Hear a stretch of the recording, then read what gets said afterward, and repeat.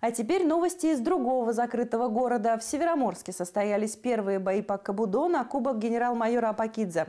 Показательные поединки за финальные места длились не один час, а чем они запомнились, расскажем в следующем материале.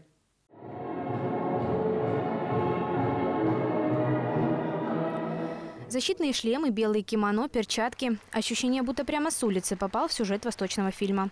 Около 200 девушек и юношей из всех уголков Мурманской области вышли на татами для соревнования сразу в нескольких видах единоборств. Кабудо, кабудо-нунчаку, танта-дзюцу. Все это боевое искусство работы с холодным оружием. К счастью, у ребят в руках имитация, да и защита не подведет. Защита начинается. Шлем, как вы видите, полностью защищен, закрыт жилет, панцирь, который не пробивается, хоть как можно бить. Все.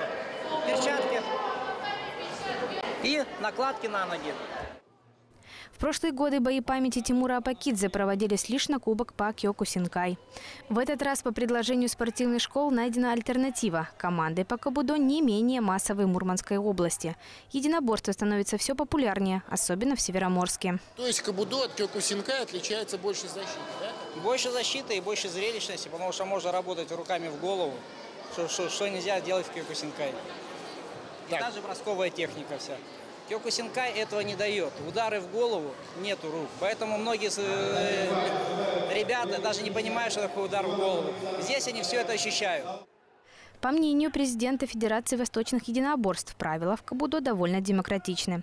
Оттого сразиться смогли представители разных восточных школ – тайквандисты, каратисты, бойцы кёкусинкай. По регламенту бой длится две минуты, до трех побед. Очки засчитываются за эффективную атаку. Удар ногой, бросок забиванием, удар рукой. Лучшие бойцы выступят на Кубке России в марте.